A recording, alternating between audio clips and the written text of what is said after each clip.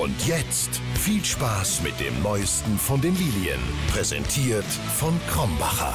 Gute und herzlich willkommen zum heutigen Mediengespräch. Diesmal anlässlich unseres letzten Hinrundenspiels. Ähm, geht gegen den SC Paderborn am Samstag um 13.30 Uhr auswärts. Vor Fans, wenn auch nicht ganz so vielen.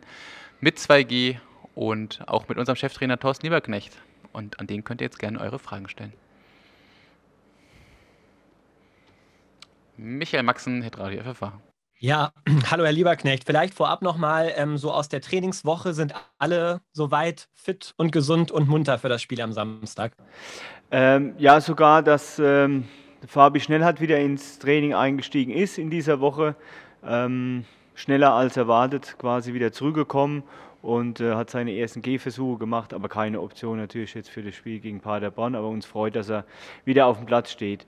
Ähm, wir haben Matze Bader, ähm, derjenige, der hier mit einer Gehirnerschütterung aus dem Düsseldorf-Spiel rausgekommen ist. Ähm, da ist es so, dass er kein grünes Licht bekommen hat. Ihm geht es äh, wieder besser, keine Kopfschmerzen mehr. Aber das hat sich in der Woche eben halt so herauskristallisiert. Er muss auch ähm, aufgrund einer Kopfverletzung auch verschiedene Parameter erfüllen. Ähm, da ist es einfach so, dass er jetzt von den Ärzten ähm, kein grünes Licht bekommen hat. Aber ihm geht es soweit gut wieder und er fühlt sich auch wieder besser. Aber er wird jetzt für Samstag keine äh, Option sein. Ansonsten sind alle anderen ähm, ja, alle einsatzfähig. Wie äh, haben Sie denn so die Trainingswoche erlebt jetzt? Äh, nach dem Spiel gegen Düsseldorf, äh, wie waren die Jungs so drauf? Äh, wie war so die Stimmung? Mussten Sie da jetzt so ein bisschen Aufbauarbeiten auch mal betreiben oder waren die sofort wieder positiv und haben nach vorne geschaut? Wie, wie haben Sie die Mannschaft jetzt erlebt in den Tagen?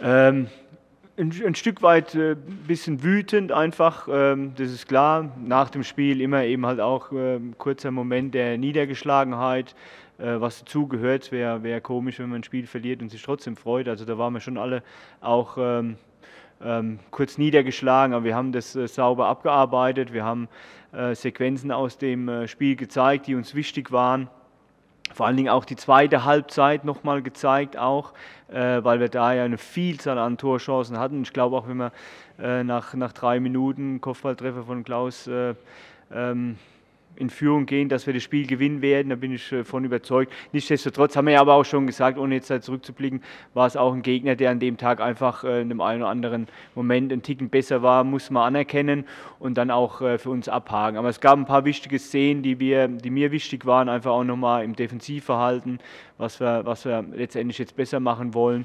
Und ähm, dann habe ich die Mannschaft so erlebt, jetzt in der Trainingswoche. Wir haben immer kurze äh, Spielformen gewählt. Wir haben Spielformen gewählt, wo wir viel in Zweikämpfe reinkommen. Ähm, da war es so, dass äh, eine gute Intensität drin war. Ähm, und die Jungs dann auch das, äh, durch das Spielen dann halt auch wieder ähm, ja, vergessen haben und sich dadurch eben halt auch äh, vorbereiten sollen auf äh, den nächsten Gegner SC Paderborn. Genau, dazu hätte ich noch eine Frage. Dann übergebe ich gerne an die äh, Kollegen der Klaus Jasula, mit dem hatten wir unter der Woche gesprochen. Und der hatte gesagt, er erwartet gegen Paderborn ein ekliges Spiel. Äh, erwarten Sie das auch? Äh, von uns, ja, ja, erwarte ich das, definitiv, dass wir das eben halt, äh, dass wir das halt auch zeigen, dass wir ein ekliger Gegner sind.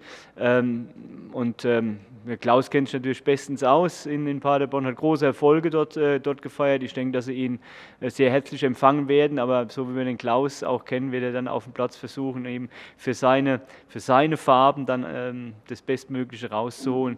Aber es ist ein interessanter Gegner, glaube ich, es sind zwei interessante Mannschaften, die ja gerade was die Offensive angeht, schon auch äh, ihre Stärke hat äh, oder ihre Stärken haben. Also von daher wieder eins dieser interessanten Spiele, die man eigentlich von Woche zu Woche hat in der zweiten Liga.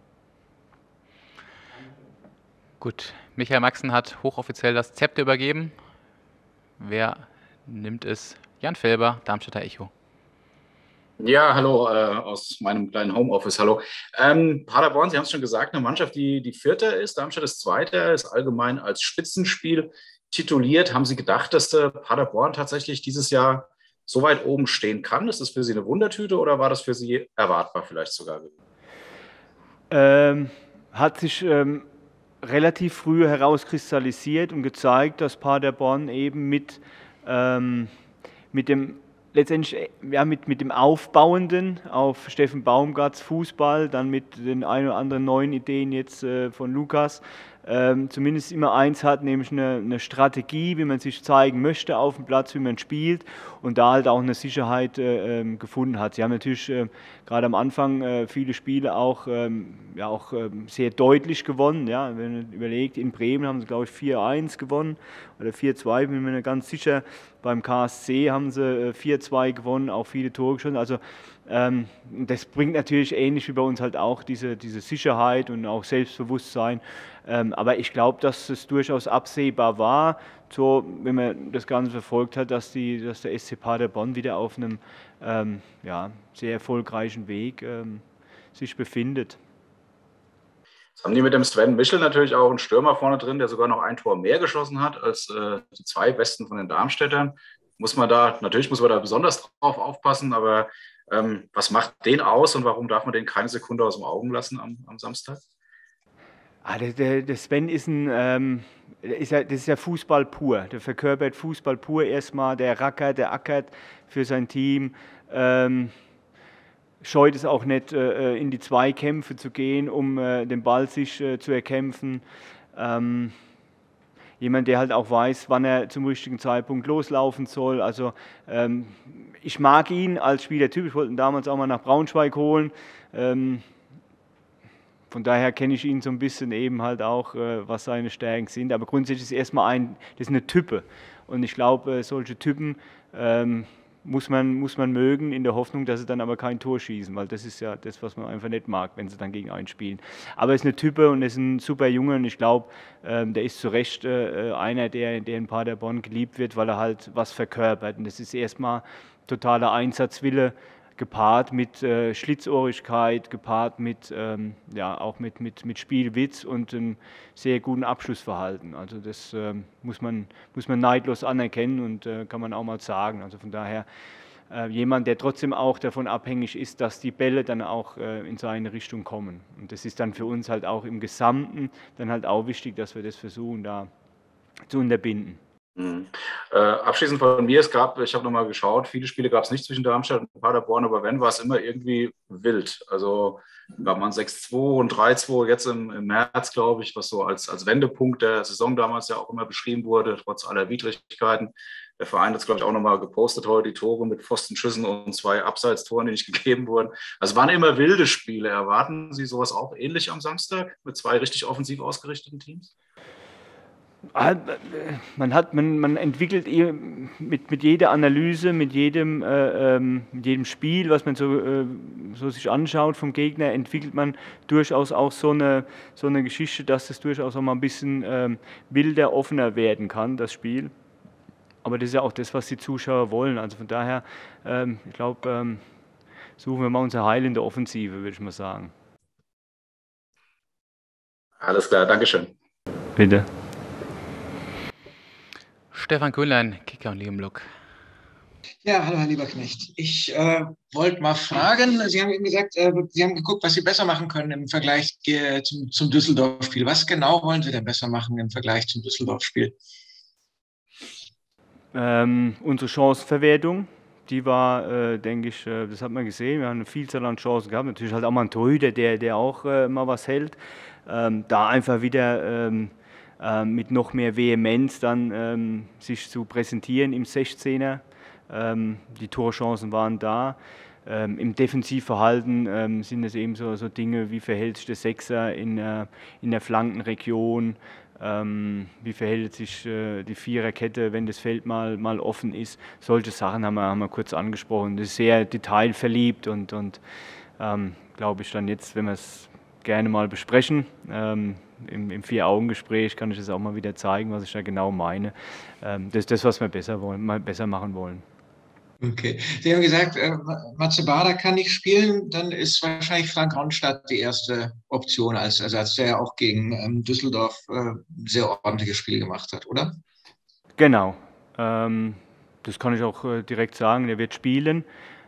Nur die Frage ist, auf welcher Position.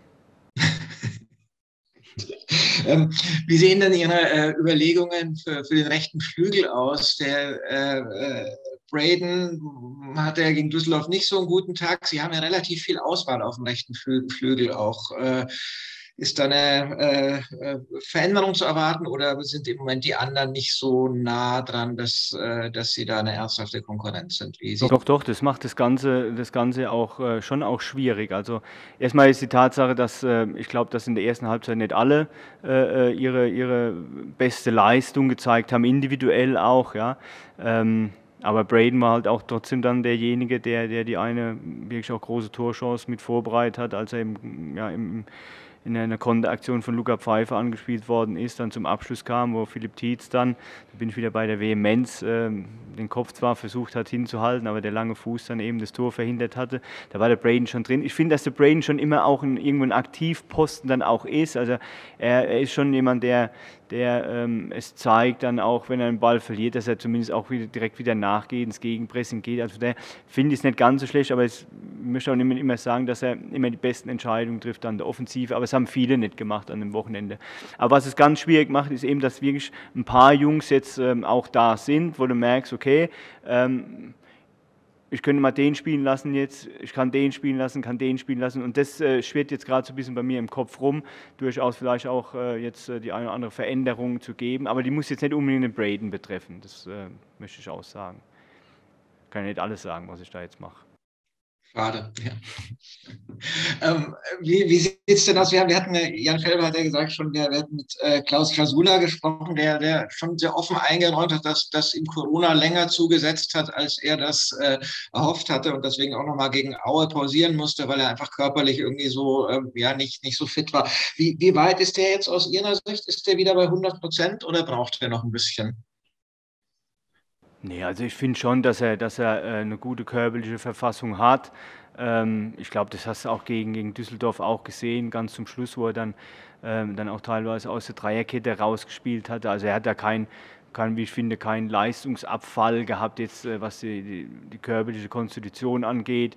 Ähm, er weiß auch, dass er auch er als Sechser auch nicht äh, das beste Spiel abgeliefert hat mit seinem äh, Nebenpartner, jetzt mit, mit, mit, dem Tobi. Ja, dann, wie gesagt, das waren, waren, letztendlich einige Jungs, die nicht die, die beste Leistung gebracht haben. Aber was sie alle gezeigt haben in der zweiten Halbzeit, das finde ich und möchte ich auch nochmal herausstellen, schon auch, und ich glaube, das haben die Zuschauer ähm, auch sehr, sehr gut honoriert nach dem Spiel, äh, dass die Mannschaft wirklich wollte und das Spiel drehen wollte und auch in der Lage gewesen wäre, vielleicht bei einem frühen Anschlusstreffer das, das umzusetzen. Und das spricht eigentlich auch dafür, dass die Mannschaft, gerade was den körperlichen Zustand angeht, dann auch ähm, ja, nicht nachgelassen hatte, sondern einfach auch ähm, nicht. Ähm, äh, ja, nicht nachgelassen hatte, sondern einfach äh, parat war. Und so sehe ich das beim, beim Klaus. Also ich glaube, ähm, er hat ein bisschen gebraucht und wir haben auch einen guten, ähm, gute Kommunikation untereinander gehabt, so wie jetzt mit dem Spiel in, äh, in Aue, dass wir gesagt haben, okay, das ist noch zu früh, aber jetzt äh, sehe ich ihn immer noch in einer, in einer guten Verfassung. Alles klar, danke erstmal. Bitte.